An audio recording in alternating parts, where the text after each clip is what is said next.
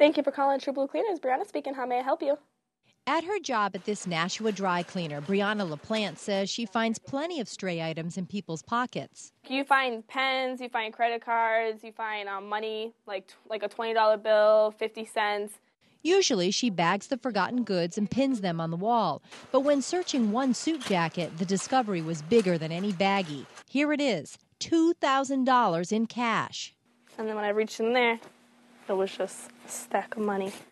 Bryanna couldn't resist taking a picture of that much cash, but she didn't think twice about what she'd do. She wanted to give it back and fast. Bryanna wasted no time calling the customer, and the man who asked to remain anonymous rushed back to the cleaners. He was just so thankful that I was just honest, you know what I mean? I didn't take none of it, nothing. And then he, before he left, he turned around and gave me a $100 tip and said, Thank you for being honest.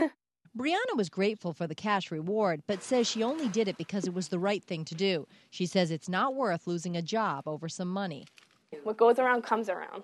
So one day, I'm, maybe one day I'm going to lose a bunch of money and the person's going to give it right back to me, which will be nice. In Nashua, Heather Hamill, WMUR News 9.